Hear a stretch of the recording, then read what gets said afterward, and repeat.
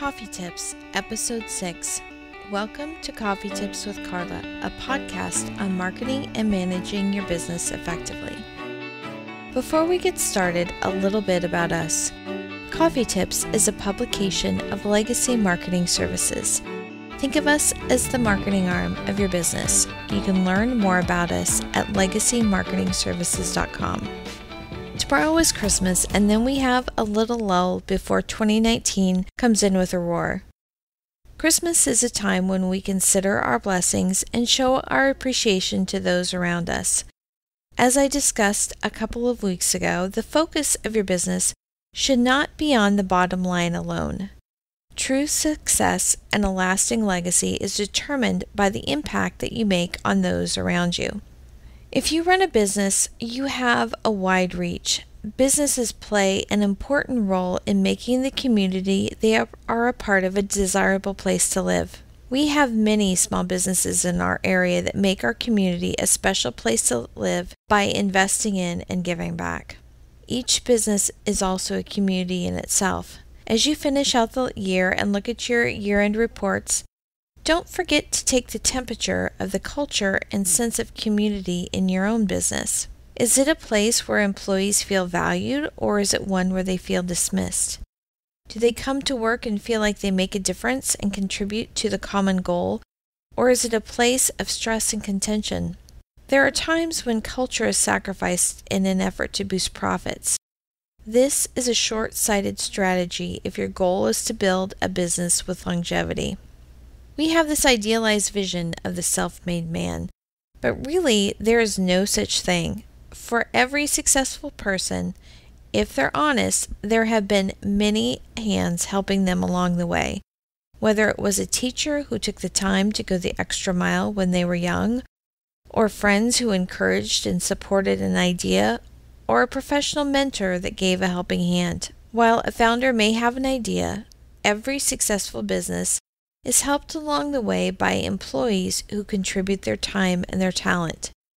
It is not just about contracts and accounts. The people who help man your ship in the ocean of commerce are just as important. All of us are familiar with A Christmas Carol by Charles Dickens. It's been retold and reworked in movies such as It's a Wonderful Life to countless re- renditions on Lifetime. The message Dickens gave in the mid 19th century, in the middle of the Industrial Revolution, is actually the same that Jack Welch gives to business owners today, and that is put people first. As the ghost Jacob Marley in A Christmas Carol said, Business, cried the ghost, wringing his hands again. Mankind was my business. The common welfare was my business.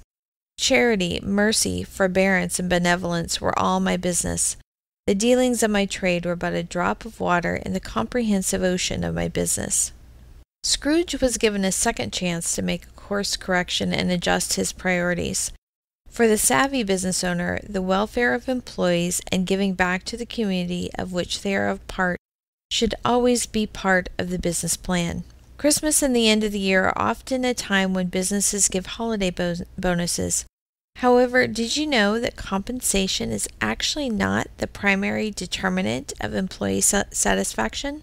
It's not. Multiple studies have shown that appreciation is the number one factor. So, how can you show your employees that you recognize and appreciate the contribution they make? Tell them Write a card of appreciation and tell them a specific thing that you appreciate about the job they do. This might be when they went an extra mile to finish a job or when they showed extraordinary patience with a difficult customer. Maybe it is that they do an excellent job at training others or they pay attention to detail. What is their primary character quality? Are they thoughtful, considerate, trustworthy, reliable, respectful, humble, compassionate, fair, or courteous? Are they diligent, efficient, flexible, focused, honest, determined, insightful, intuitive, creative, persuasive, or perceptive? Or maybe they are resourceful, imaginative, punctual, or cooperative. Pick one of these traits and tell them how it makes a positive impact on the team and in your business. Don't send it in an email, a text, a Facebook, or Slack message. Get some pretty cards, grab a pen, and write the note by hand. When your employees know that you value not only what they do, but who they are, they will want to do their best for you. Grow your business from the inside out, starting with your own people. So that's enough for this week, and I hope you have a wonderful Christmas holiday. Again, I'm Carla with Legacy Marketing Services, and if we can help your business grow, we would love to talk to you. Visit legacymarketingservices.com forward slash contact to reach us. Thank you for joining me. I hope that you and your business are blessed and prosper, and that you are a blessing in your community as well. Until next week.